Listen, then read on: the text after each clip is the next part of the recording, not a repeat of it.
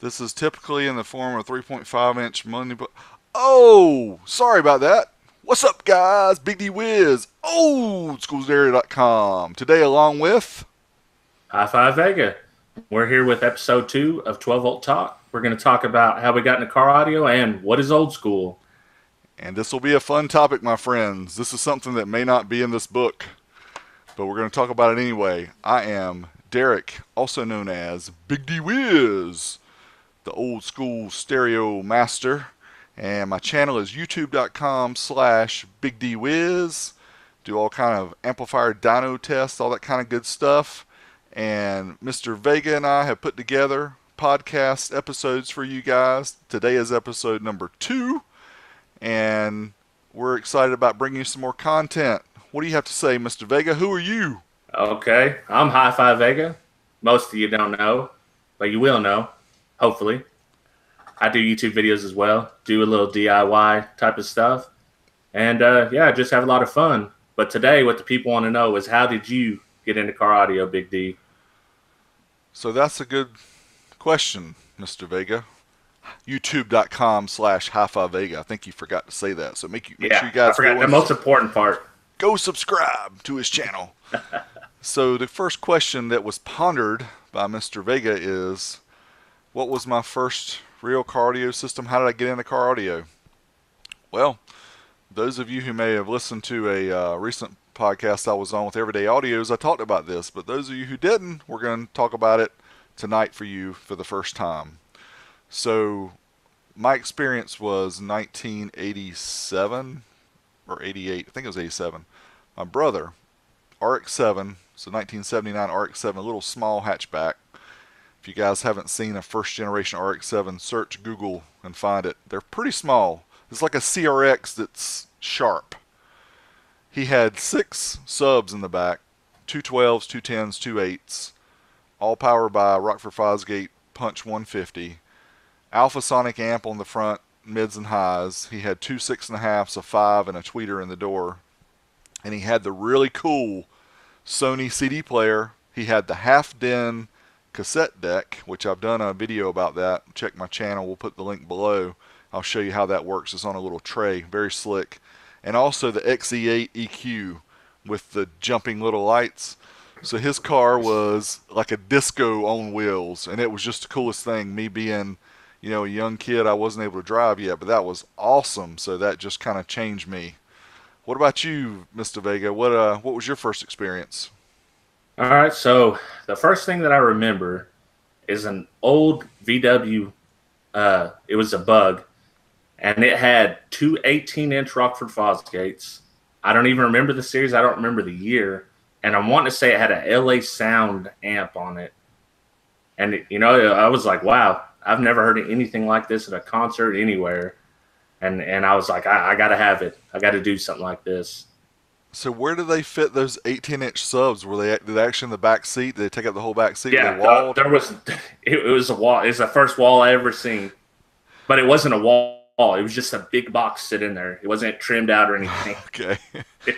I was gonna say I don't I don't know how you'd fit 18s in the you know because those VW Beetles. Yeah, and it was e- it was even angled somewhat like it wasn't just a flat. It was kind of like this because I, I don't know if they could even fit them side by side like this. Probably not. Those cars are pretty Yeah. small. Yeah, So it had a probably what 200 watt amp on those 18, something like that. yeah, but it sounded more like ten thousand to me. Man, you know, uh, big subs and big boxes had huge efficiency, and people could run 200 watt, 100 watt amps, which nowadays people would laugh at. Um, right. But you have to remember, we didn't have, you know, subs with two subs capable of doing 150 dB like you have today, and some people do it with one. But, you know, eh, you were compared to a factory system which was junk back then. So um, it didn't take a lot. And I'm not saying that these systems weren't impressive because they, they were and they still kind of are. But the Yeah. fact that we didn't have a lot to compare it against back then. Right. And then, you know, today it's a little it's a little uh everything's just cranked up to 11. cranked up to 11 and the prices today are so low that you Yeah. can get a 3000 watt amp today for the price of a 200 watt amp. You know, back when we were in car audio and started out. So, so anyway, um, Yeah, dollar was a our. Go ahead. I'm sorry. I said it was a dollar a watt back in the day. Most everybody remembers that. At least, um, even more. And you Yeah, know, for the for the high quality ones, you are look, definitely looking at you know two, maybe even three dollars a watt. several dollars per watt. That's right. So, um,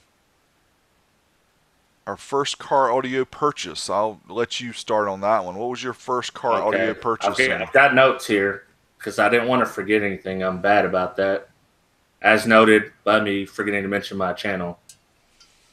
Okay, uh, I oh Crunch CR10s in a box, a ported box with piezo tweeters, and then I'm just gonna jump in to my first system because this was my first system, a 1992 Chevy or Chevy Celebrity station wagon.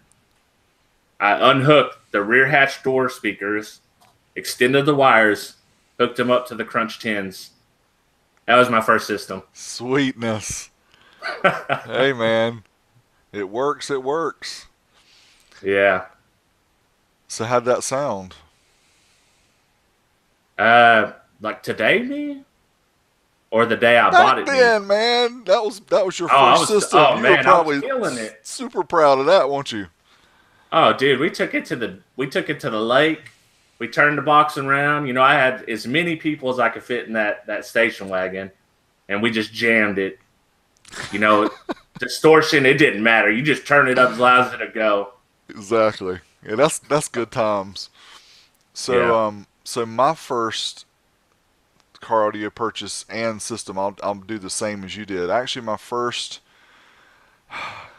so I after the experience with my brother's system and knowing when I was 15 that I was going to have a car my parents were letting me drive one of their cars for a while, but they also said I could put a system in it. So, you know, my mind spins and I'm thinking about how can I get money to buy, you know, whatever all this equipment I want to buy. I had magazines, which you guys know I collect old school car audio magazines, all of them. But back in the day, super magazine nerd, because we don't, we didn't have the internet back then. You didn't have any way to reference stuff, you know, to see other systems, things like that, other than looking at magazines. So I would, you know, dive through the magazines trying to plan out. I've got pictures in notebooks, and I'm sure you do too, uh, about Yeah. system layouts and what am I going to do and how much is it going to cost to, you know, to put together this system versus that one, and will I have enough money? So the very first thing I bought was the Sony CDX 7520 CD player head unit. I never, I take it back. I had a tape deck that my brother let me use for like a month before I got the Sony, but the Sony was the first purchase. Back in the day, in 1990, this Sony CD player was one of the cheapest. I don't think it was the cheapest, but it was one of the cheapest CD players you could buy for a car, and it was three ninety nine. No, four ninety nine retail. I got it for four hundred, so I got it for three ninety nine because my brother knew the guy that owned the shop, and he gave me a discount. And So I he bought paid- two twelves, two tens, and two eights. Well, that was years ago. but uh, so 400 bucks for a CD player head unit. Now think about that in today's terms. Of course, you can still spend that much or more today, but you're getting a lot of features. You know, this is basic CD, FM, AM. It didn't have any aux inputs. It didn't have anything fancy. It was just CD.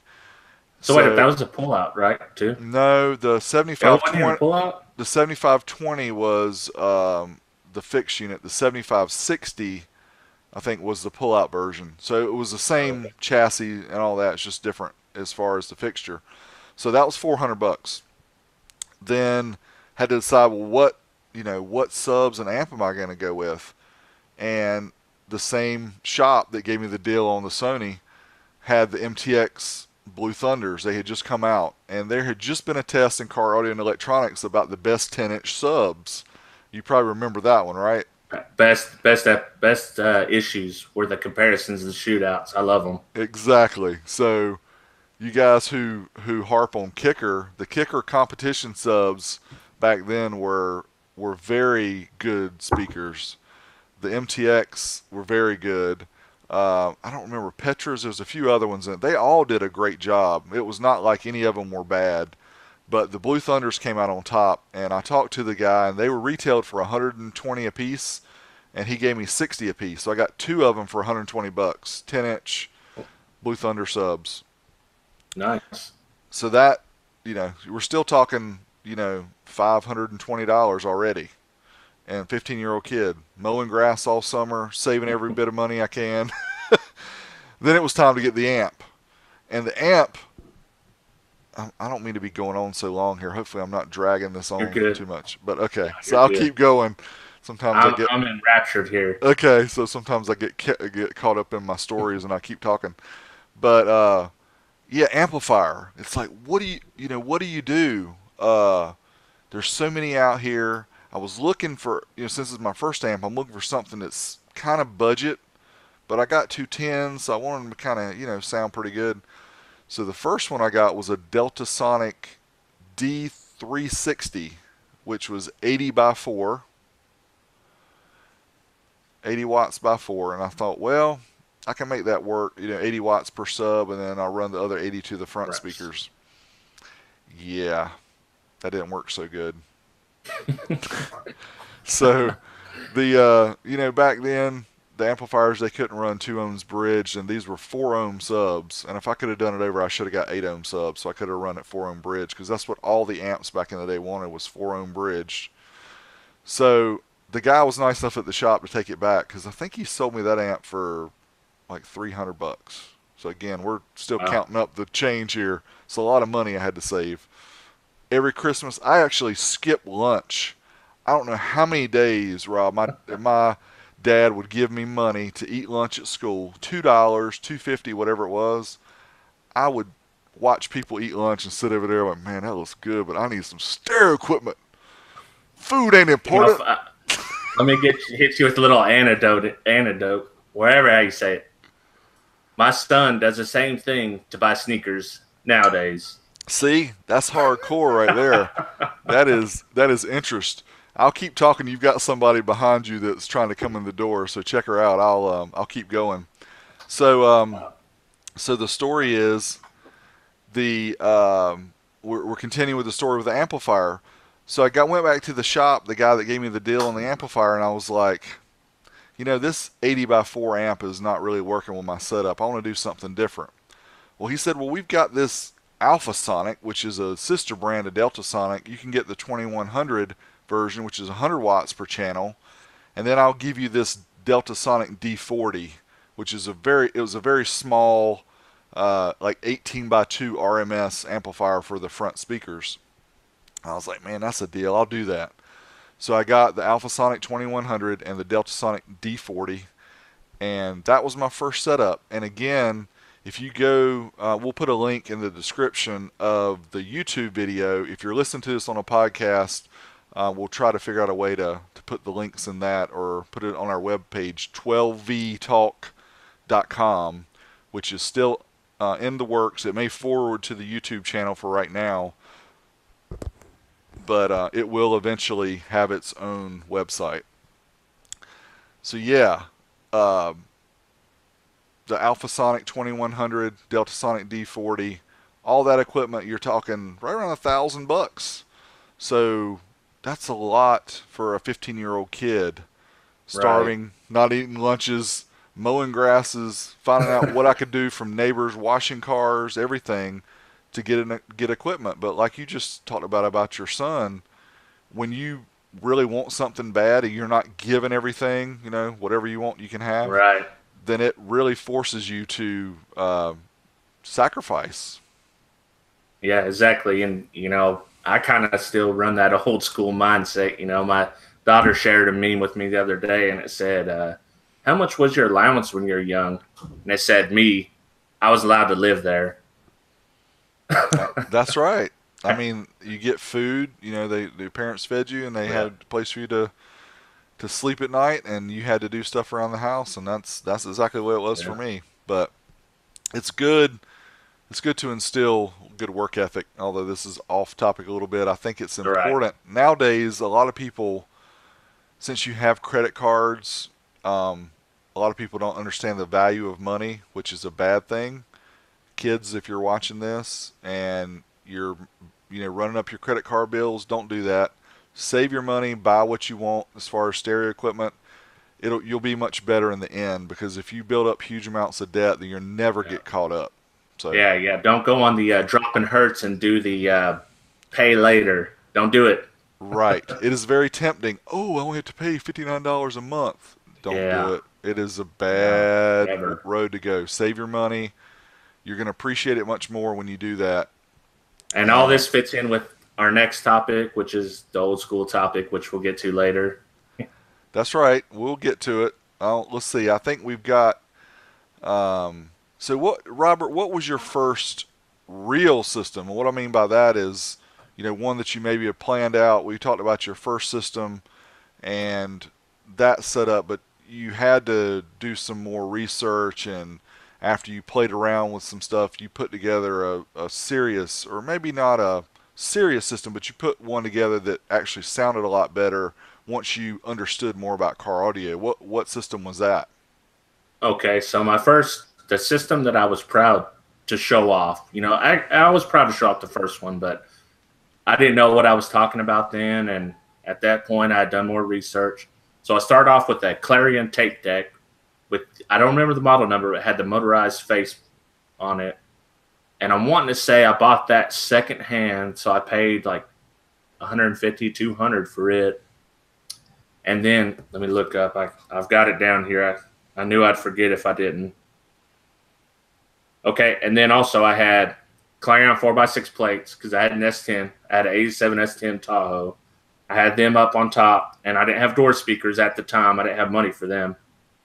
And I also I got a uh, Punch 225 2 second hand, the one with the gray with the the uh, gold end bells, and I had a 12 inch uh, RF Punch DVC in a custom built box by the shop that I, I purchased a sub from, and that that was actually one system that I was I was actually proud to show off. You know, I had nice bass, it sounded good. Of course, I didn't have no mid bass; it's just you know highs and lows, but Highs and lows. It must be Bose, Yeah. but it wasn't.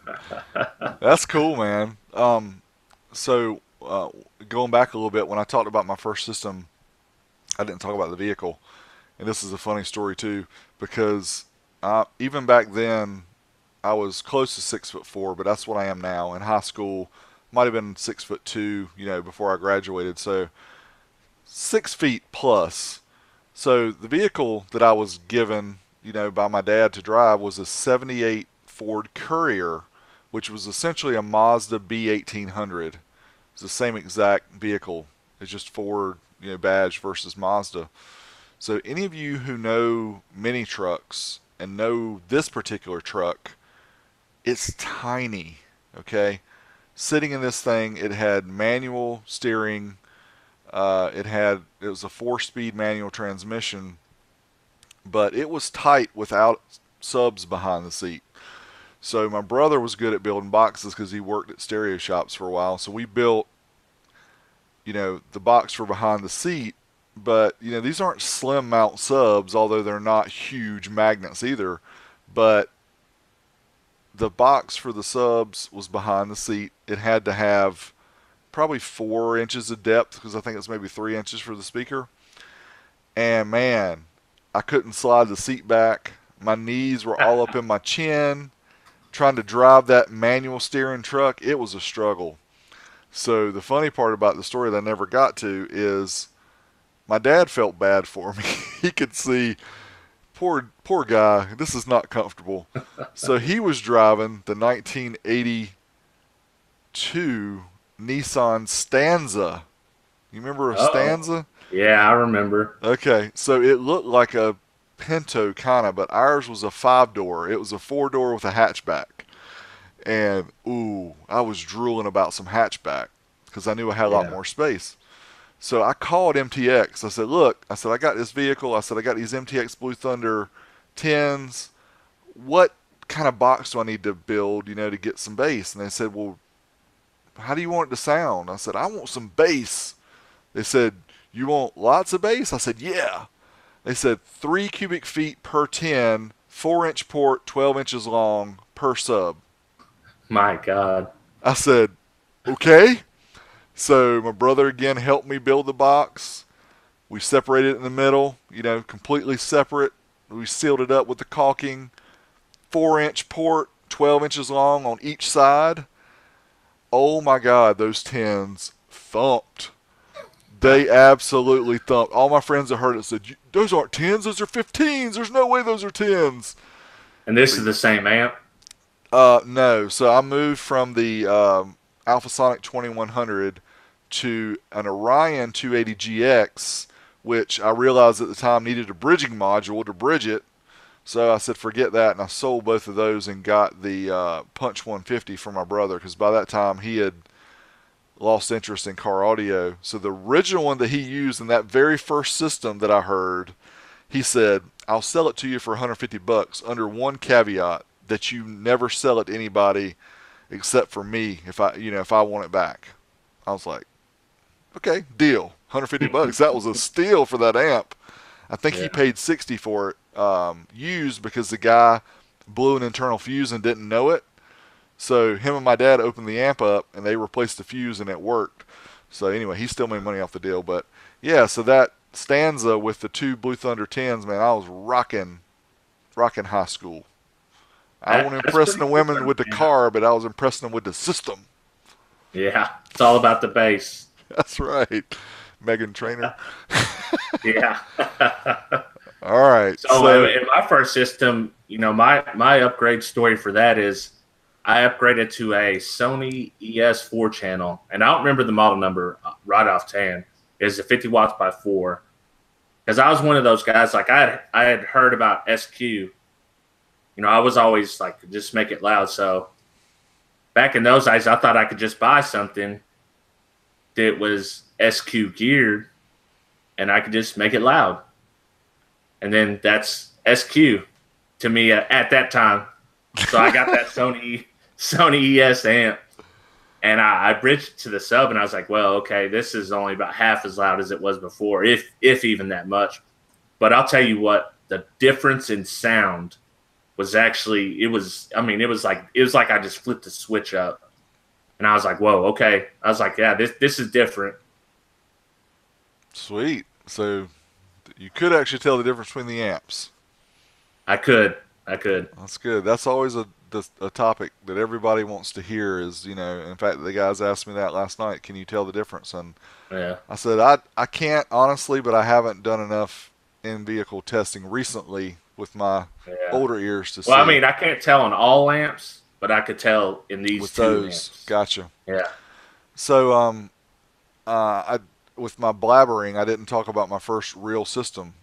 so we moved from the uh, 1982 Nissan Stanza, and I finally was able to save up some money and actually took a loan from my dad to help me buy my first car, a 1987 Honda Prelude SI.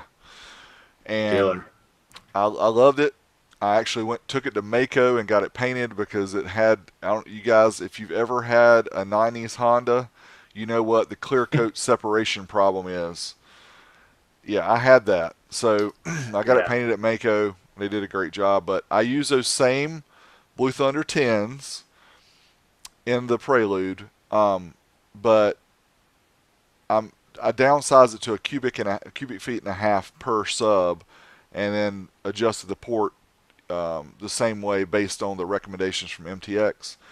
And then I moved from the Punch 150 to a Punch 400 X4. So this is around 1995, and I always liked clean installs. I wanted, I really wanted a four or a five channel amp to run everything because I didn't want to have multiple amps and have all the wires between them and worry about dressing everything up. So I got this Punch 400 X4. It was 4.99, 500 bucks. I've still got the receipt. Yeah. Unfortunately, I threw the I tossed the box when I cleaned up a house years ago before I really got back into this stuff. But I've still got the receipts. 4.99 plus tax, like 525 bucks. And um, I had that amp, this, the Blue Thunder 10s, and then I got Boston Acoustics Pro 5.4s for the front. And I have been drooling over these mids and highs for the longest time. I was a big Boston Acoustics fan. One of our local shops had them, and to me, they just sounded fantastic. So I got those in the doors. Um, I'm thinking the tweeters were were up somewhere. I can't remember exactly where I put the tweeters. I think anyway. it was sail pan or tweeters from the yeah. factory with those preludes. Maybe maybe it was. Somebody will correct us if yeah. we're wrong, but I can't, I can't exactly recall that. But so the 400X4 was four ohms on the front, and it was bridge mono to the 210s, which was two ohms mono, which so it got hot. So it got pretty hot, but man, did it yeah. sound good. Man, did it slam. Did it SQ, turn the bass down and just listen to those Bostons. I still love those Bostons to this day. Um, and the head unit, head unit is another fun story to tell, but I can blab on too long. I'll try to keep it short.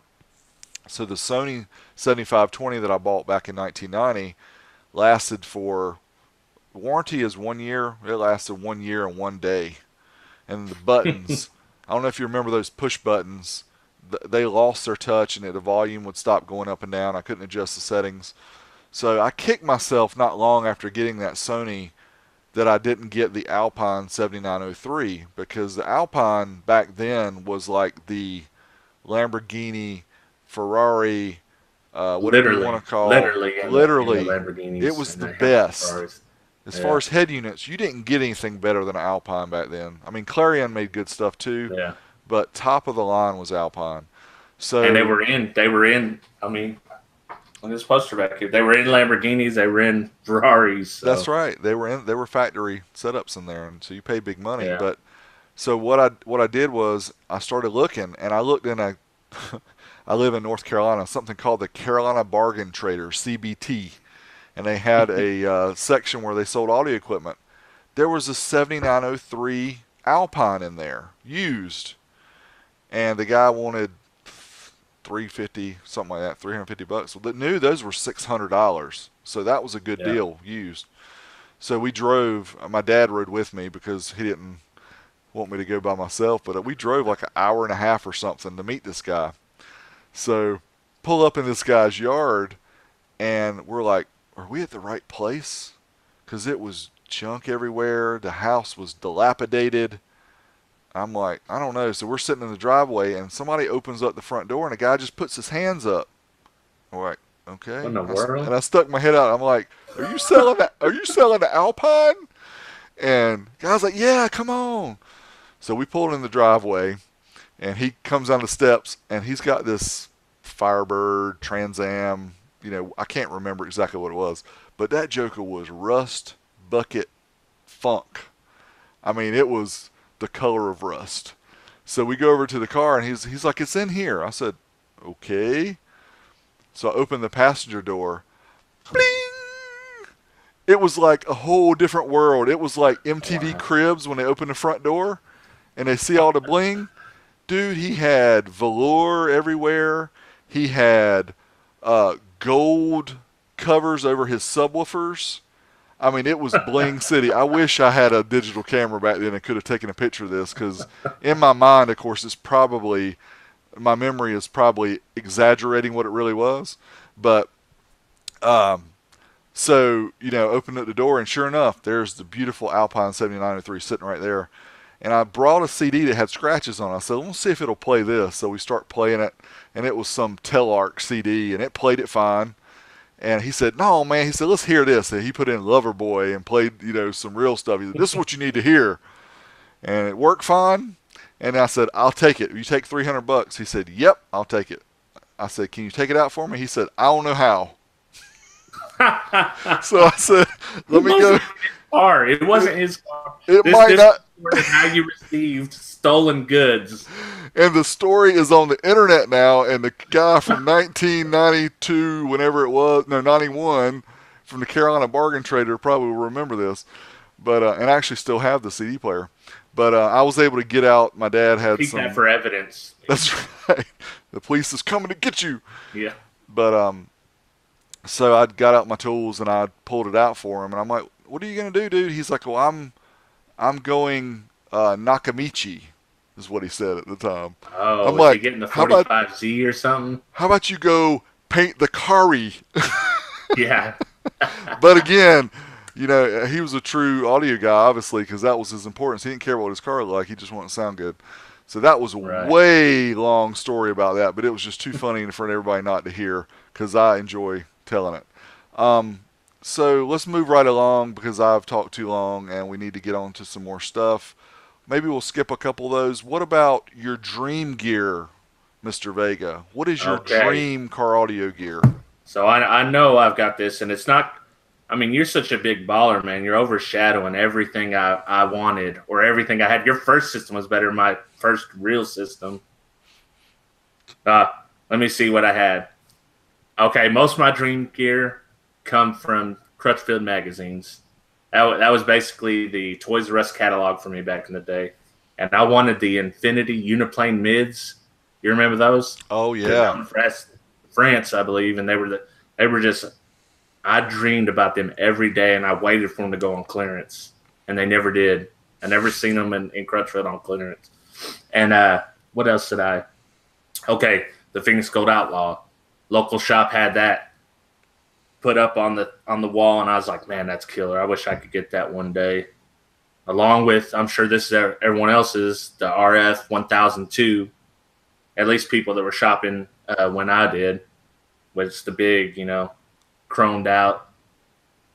And then I've got one for an example, and and the story on this one, I wanted one of these from the very day it was released, and I seen it in that car audio shop, and the local uh, shop owner he ended up putting this amp that I'm fixing to show you.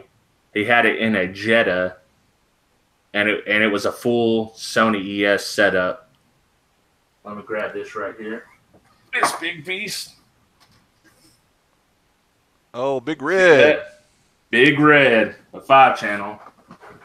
Shout out to Sean for selling me that.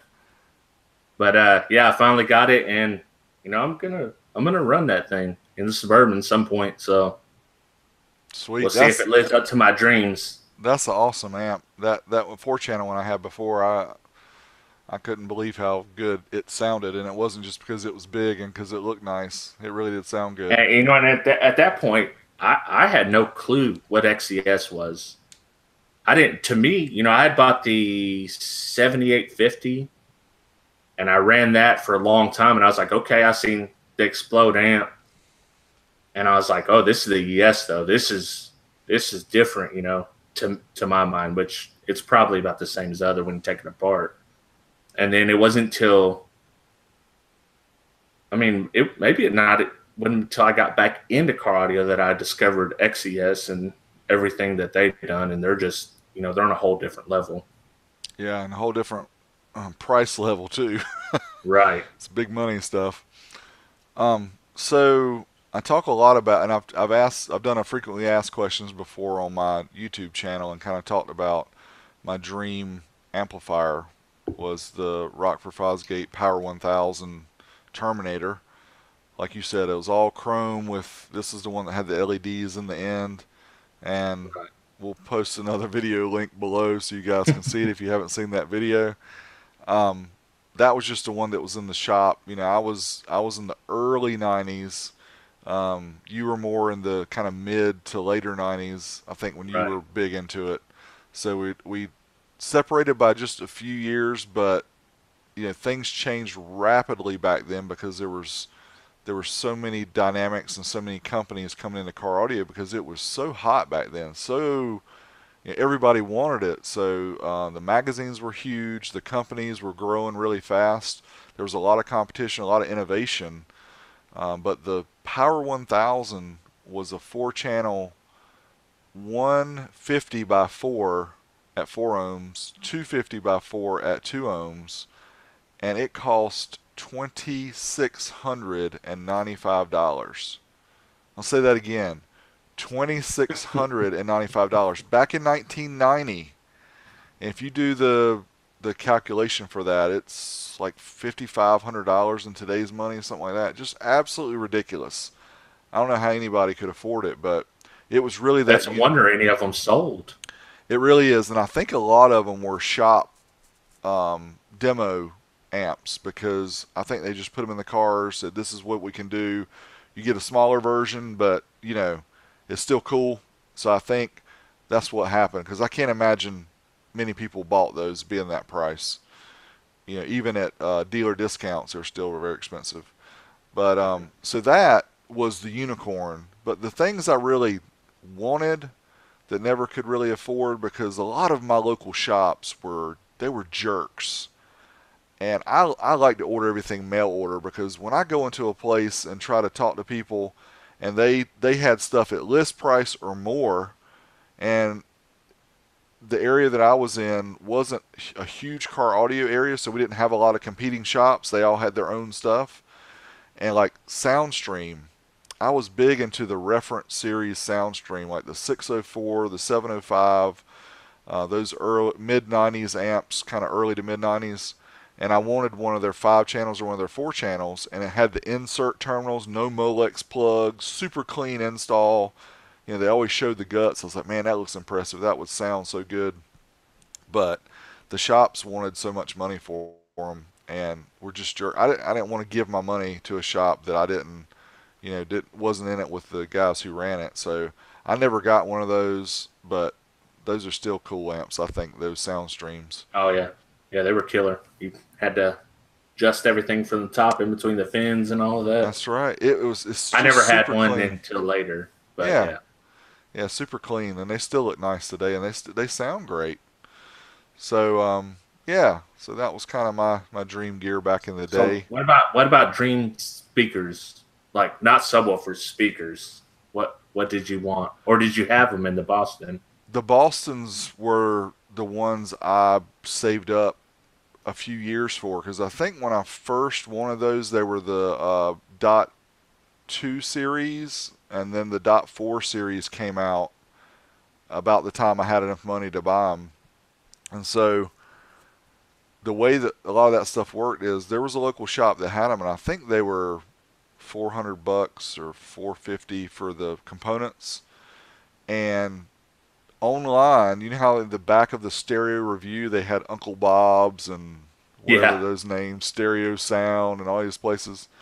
Well one of these places had them listed for 275 wow. I was like man i can save over a hundred dollars getting them through this place. So i call them up of course they're in brooklyn or something new york. And uh, this is back in the day when they did uh, CODs. Oh, and, okay. You guys, that is, that, you guys, been a while back. You guys remember what a COD is? It's called cash on delivery. The UPS guy would show up with his hand stuck out. Give me your money. I'll give you your stuff. And uh, so I ordered those Boston speakers through them, and never came. So I called the company back and they're like, ah, we don't sell those anymore. So they didn't sell them. so luckily I found another place that was like 285, just a little bit more. They were sketchy too, but I actually received them and I had to do the, the COD and pay them on demand or on wow. delivery. And I got my Bostons and I still have them today and I have the original box that they came in. So, wow. um, yeah, I, I lusted after those. I saved up. I, I I do that now. I save boxes now, but back then I wasn't like you were ahead of the game. First of all, you were ordering online. Like who did that? I mean, you were. well, I say you say online, but phone orders. Yeah, like yeah. the phone, the phone line. yeah, so, that's right. Online meant yeah, yeah. you got to talk to somebody different than today's online. Let's get that straight. And you saved your boxes, you saved your receipts. Man, I was just like a kid. I just, I mean, I was a kid. I just ripped that stuff open, like chuck it to the side like, oh man, there might have been some speaker wires or something in there I needed, but you know, it, I had none of that stuff until I got a little bit older and started doing a little bit of collecting. Yeah, I think I got that from my dad because whenever we bought stuff around the house, especially electronics, you know, TV, uh, VCR back then or whatever, he's like, you need to save your boxes for a year because while the stuff's under warranty, if something happens, you want to put it back in the box and send it back. But for me, it was cool to have the box because when I took the speakers out of the the um, the Prelude, and when I got a different car, you know, I put them in the box and and in the intermediate time, so that way I was able to keep them protected and everything. And plus, I just thought the boxes looked so cool too. That's why I wanted to save them. But I didn't have. Funny you said that about your dad because I guess you know that does pass on to your kids. You know, because my son sees me do that. He's seen me do it since he was little now. So now you go in his room, there's shoe boxes stacked up with his sneakers in them. That's how he stores them. So. Yep, that's right. That's how we learn, man. Learn from and the pops. Know, my my car audio shops locally couldn't be more different than your experience in car audio shops. I mean, I used to just hang out there and I talked to the guys working the counter. Heck, I mean, customers would come in and I was that annoying kid and they were looking at something. I was like, oh, yeah, that's the, uh, you haven't seen the Sony uh, ES7850? It's not as good as the C90, you know, but it's pretty good and you can get it for $500 less. You know, so I, I was that kid doing that type of stuff. So the guy, the stereo shop owner, didn't ever hire you to you know be a sales guy. No, I, and actually, I had pretty good jobs from when I was young, so I couldn't have made enough money to afford the equipment I want wanted working there. You know, I guess yeah. the discount, but yeah, well, it, but I was trying to spend my money on girls too, besides car audio. So I, yeah, uh, they're expensive. yeah. Well, I um when I was in and this is a little off topic, but it's it's related. So when I was in in high school and um I wanted to get a job and all that stuff, there was a local stereo store, kind of like a small version of a Best Buy, and, and you guys may have heard of Ed Kelly's. Did you ever hear of those? I'm no, we didn't have not, those. I'm not sure how uh, nationwide they were, but they were in the southeast here, and they were a new store at the time when I was in high school. They hadn't been around very long in our area, but I, I would go in there occasionally. And uh, the one time, the one of the installers, which this dude, and I, I hope I wish we could add in a little picture to show, but you guys remember Ferris Bueller's Day Off and his friend, uh, what was his friend's name? Oh my gosh! If you wouldn't ask, I, I might have been able to know. But oh, Cameron. What? Cameron. And wasn't that the dude that got into some trouble later with? It might have been. I don't remember the story, but I can tell yeah, you this yeah, guy that this guy that worked there could have been his twin, although he was a little heavier, a little heavier set. But yeah. I thought it was him. I'm like, is this the guy from Ferris Bueller? But anyway, so I would go in there a lot, and he was the installer, and they didn't have a sales guy at the time for car audio, and I kept going in there, and I was asking questions, and I was telling him what I was trying to do. He's like, you come in here so much. Why don't you get a job? I was like, ooh, that sounds good. So he said he he talked to his manager, you know, and got me an interview. So I go in there and interview with this dude, and, and we're talking, and he's like, "So what do you know about car audio?" I'm like, "Well, I know a lot." Said, "I study all this stuff." He said, "Well, where'd you, you know where where's your experience?" I said, "Well, I got a big old fat stack of Crutchfields and car audio and electronics at home, and I know them, you know, front to back." He's like, okay. I said, well, this is a sales job, right? This is not an installation. I'm not having to, you know, do all that. Even though I I understand it, I'm just not hands on to that, uh, you know, to that way. And he's like, uh, okay. And we went on, you know, interview and all that stuff. And then I didn't, I wasn't sure. It was like my first interview. I mean, I had jobs before, but not one that you know, it wasn't something that somebody said, "Hey, we need some somebody to work," and you go after that. This was actually an official yeah. job, my first official interview, and so I never got the call back. I didn't get the job. Um, it was only six months later that that place shut down, so I'm kind of glad I didn't. I did get a job at a furniture store though after that, and actually worked there all the way through college and made some really good friends. So it, it, things tend sometimes to work out, you know, the way they should, even yeah. though some, sometimes you don't think they would. But um, yeah, that was my experience. And again, that was a cool shop. They had Solo-Baric subs back when uh, nobody else around me had Solo-Baric subs, and they were awesome. I love those subs. So uh, this isn't in our topics, but what kind of equipment was big in your area? Obviously, you know the big ones like Rockford Fosgate, I imagine. Uh, like what about the boutique brands? So Phoenix Gold, Soundstream, Orion, all those were big around you. Yeah, so we um we had one shop called Dashboard Stereo that sold uh, Soundstream. They sold. They didn't sell Phoenix Gold. They sold Linear Power. Um, they sold ADS, I think. They were the preppy store, is what I kind of considered them as, because they had Yeah. nice stuff, but they didn't really cater to, you know, the lower end. Of course, they had some cheaper stuff, but then the other shops, it was either a Rockford Fosgate shop or an Orion shop, but they were all kind of exclusive. I know they like to do that these days too to protect the dealers. And I've always had a problem with that because as a consumer, which is what I've always been, I feel like, you know, if I'm a manufacturer or a company and I want to provide stuff to the end user, sure, the dealers are there to be the intermediary, but my responsibility is to make the end user, the person happy, not the dealer. The dealer's responsibility is to do whatever they can do to make the same end user happy. But the fact that, you know, we're big and bad, you're the only place that can get Rockford Fosgate, you know, the Punch 45, 275 is what it retails for, but we sell it for 299 because they're in such high demand. they can't Wow. they can't make them fast enough. I was on a waiting list at one time to get a Punch 45 because they couldn't Oh get them in. God. It was ridiculous. crazy.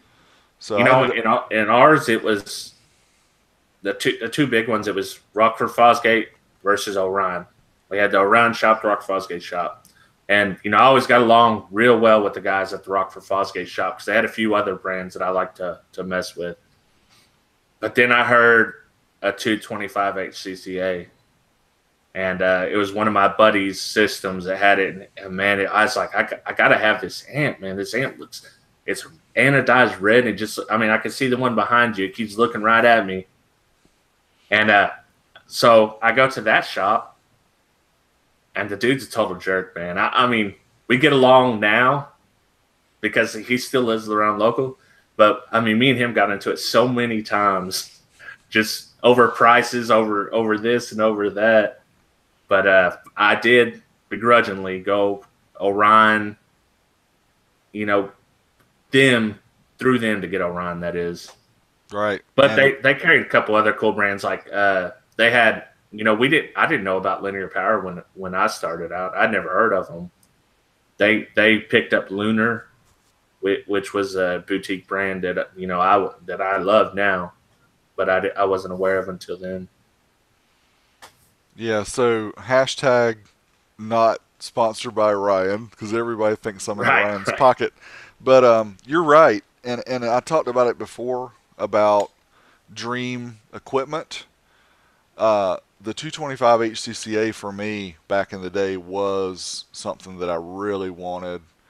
Again, we didn't have any local dealers that would actually deal with you. I think these were 5.99 retail, and I, Yeah. I talked to some guys um, in our in our uh, Facebook groups that bought these back in the day, and they were like, "Oh, I could get them every day for 320, 350." I was like, "If I could have Yeah. got one of these for 320 or 350, I would have got one or bought two back then."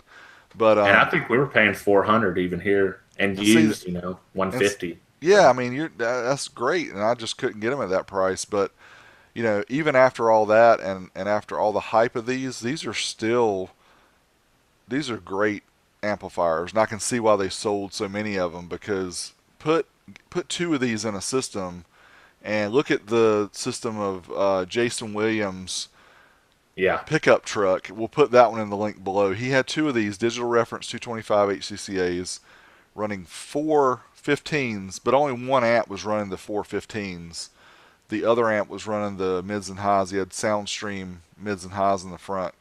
But man, we were, we went to a show in Wake Forest, North Carolina, and he he drew a huge crowd. And they're like, "Oh, what kind of amps you got?" He's like, he, "They're 25, they're 50 watts a piece. I got two of them, 100 watts total." Those guys are like, "What?" And they sit in there and they would be like, that is insane. That old school Yeah. rocks. So, um, yeah, I mean, you know, Amp Dyno shows 350 watts or so uh, at one ohm bridged. We thought it was more back in the day, but these these really can put out some power, and uh, they, they sound sound good, good. too. They sound good, even at low impedance loads. Yeah, and But, you um, know, Jason Williams, his he was a tr- he had a true mini truck. That's that's a cool system. You know, he had the tweets in the dash, and or it was I don't know if he had speakers or tweets, but The tweeters Yeah, were yeah. they were in the um, AC vents. That's right. AC Yeah, man. go Yeah. go back and watch that video because it is it is cool. It's one of my favorites, and it really did. It wasn't hard work. A lot of videos just spend hours and hours. This one I just walk around, and he didn't want to be interviewed, unfortunately. And that Yeah. if you know Jason, he's not somebody that's ever short on words.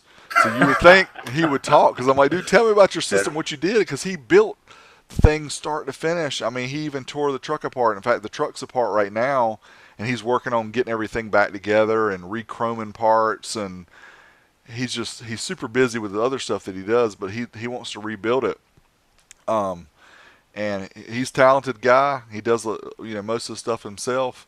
But uh, I couldn't get him. I was like, I want to hear your story about how you did this. But uh, yeah, Maybe just- we need to talk him into getting on here. yeah, I think we do. I think we do because he's uh, he's he's an interesting guy and got some stories to tell. Well, Well- one last thing before we get into our next topic. Did you ever hear of virtual technology subwoofers and enclosures? I don't think so. Okay, man. They so this was my introduction to high efficiency box building and actually a slot port.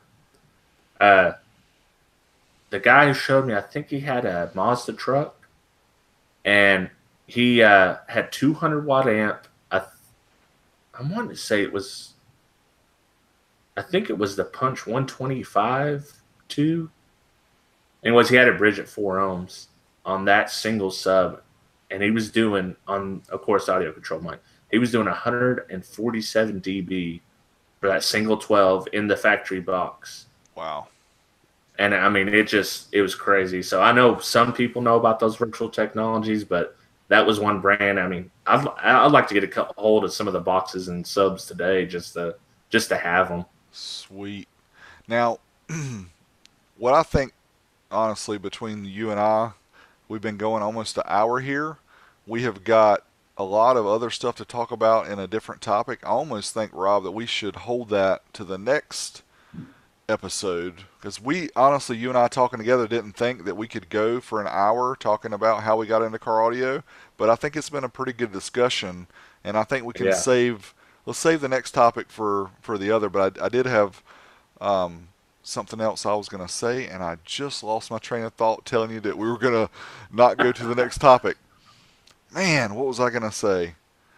Um, Okay, so are we in it? Are we closing it out, or you got something else going? Well, we'll talk about upcoming. Um, we'll talk about upcoming videos and stuff that we're working on and projects we're working on, and uh, also to let everybody know that's watching this or listening to it on a podcast. I'm not sure how you're going to get it delivered, but those who are watching it, uh, just know that uh, we are building these into podcast, and hopefully within the next couple of episodes, will be accepted in iTunes and some other places. So we'll be able to have, have this so you can get on your phone. You can have the the feed pulled up in Spotify or iTunes or however you get to your podcast, and you'll be able to listen to it on your way to work. Because Rob and I are both big podcast fans, and we don't hear a lot of car audio stuff and podcasts. And we're like, there was a there was a guy who did it a while back, and he did great episodes and just stopped. Yeah. And so Rob and I are like, well, we may not be experts doing this, but we'll try. So that's what we're going to do. Yeah. And, And shout out to the SQology guys that are doing their podcast because I do listen to that. You know, we're, we're kind of starving over here for audio, uh, car audio centric uh, material in the podcast land, anyways. right. So yeah, and any of you guys that are interested in doing something like this, uh, I'd say go do it because more content the better. I think a lot of people, you know, use YouTube as what they want to do and where they want to be, but I mean, not everybody has time to watch videos, but everybody drive or most people drive in a car or you know, ride a bus or ride a train or whatever. And during that time, they don't want to really watch a video. They probably just listen to stuff. So that's what we're hoping that um, we can grow, you know, organically an audience by listening Right. to us blah blah blah blah. Couple big dummies. That's right. And we don't know anything about being dummies because we get smart by reading books like this. we got the book. Yeah. This book, as funny as it is, is actually pretty good. So, those of you who are getting started, if you just listen to this and getting started, car audio, get car audio for dummies because there's so much good material in here for those of you who don't know anything and even those of us who do there's some stuff in here that you can that you can learn. So instead of trying to figure out everything on a forum or a not, not forum facebook sorry.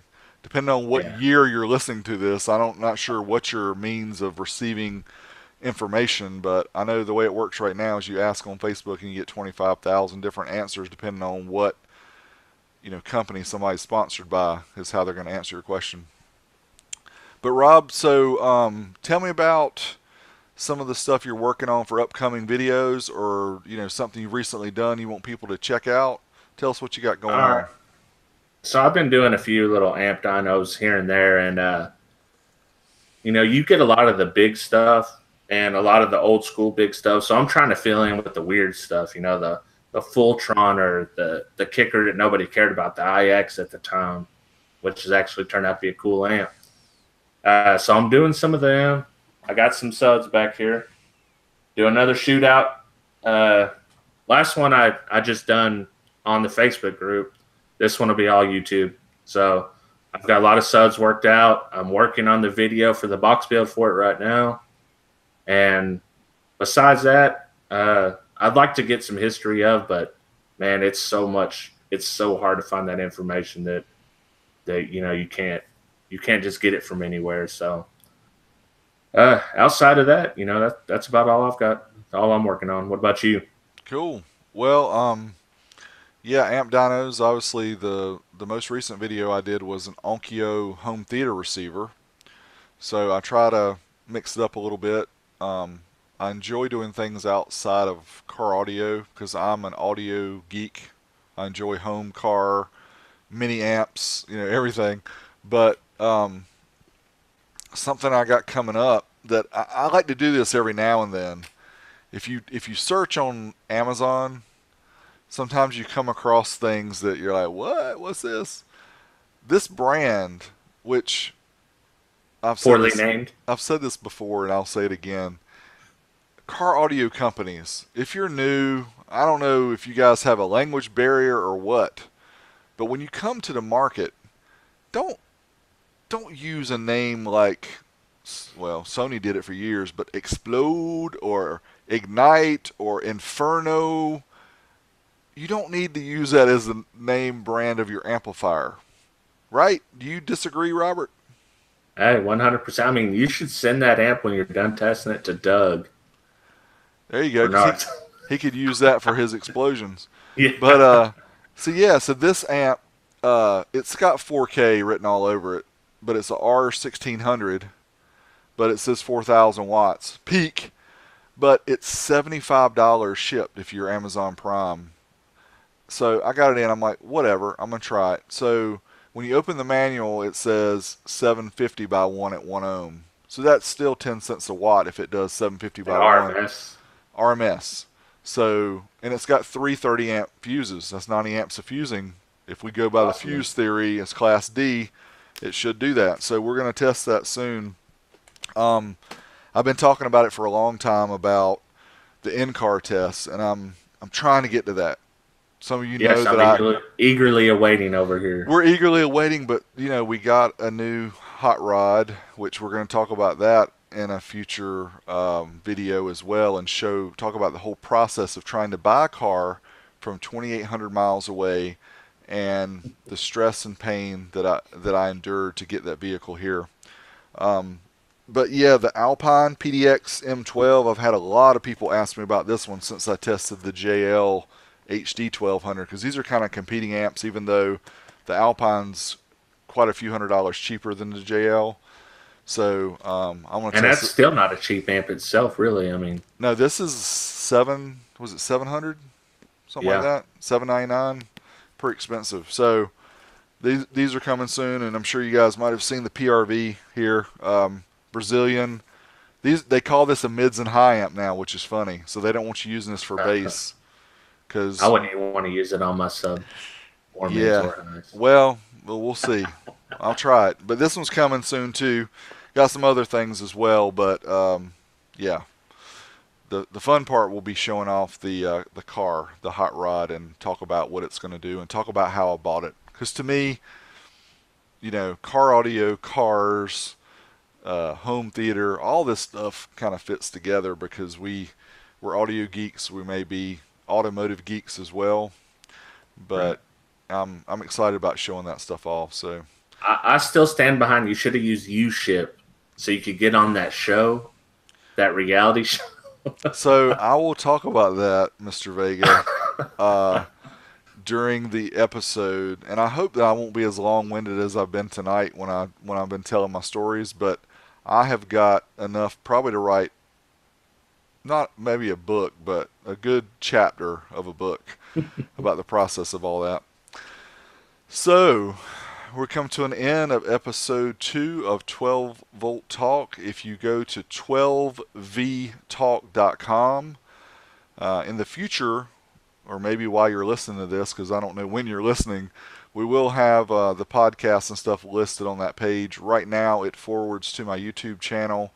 We have a SoundCloud, uh, soundcloud.com slash 12vtalk, but we're trying to get everything fed in to iTunes, to Stitcher, to um, Google. Google, to all of them. We want to have it available everywhere, depending on. It doesn't matter what phone you have or what service you use. We're working on that. So uh, thanks everybody for joining us tonight. Anything else you want to say, Mr. Vega? Um, check me out at youtube.com slash HiFiVega. Check out Big D, youtube.com slash old school stereo. And And that's, That's one channel. We have two. The other one's youtube.com slash bigdwiz. The old school Right. stereo, and I don't put much stuff on, so sorry for the confusion. But that's just me. I messed up. I, conf- I confuse everybody with that. But uh, yeah, so we didn't get your son to record his outro yet, did we? no, no, no. Well, Okay. I could get him to do it live. It, Really? yeah, I think so. Like just vamp for like 30, 45 seconds. Okay. While while he's walking away to get the outro, um, Mr. Vega talked earlier about Crutchfield, and Crutchfield's in Virginia, which is just north of North Carolina where I'm at. Um, they've been around for a long time. 1974. I still enjoy getting these in the mail and going through the Crutchfields and looking at the pictures. And man, if I lived in in Virginia near Charlottesville, I would do anything I could to work at this place. That would be like the dream job. These guys get to test You can just speakers all day. They get to test amps, and it sounds like Mr. Mini Hi-Fi is in the house. He's hiding. Is he gonna give us our outro? All right. On the count of three. Ready? One, two, three. We're out of here. Oh, come on. Get louder than that. Ready? I thought you were gonna do it with me. Ready? One, two, three. We're out here. Perfect. See you guys. All right.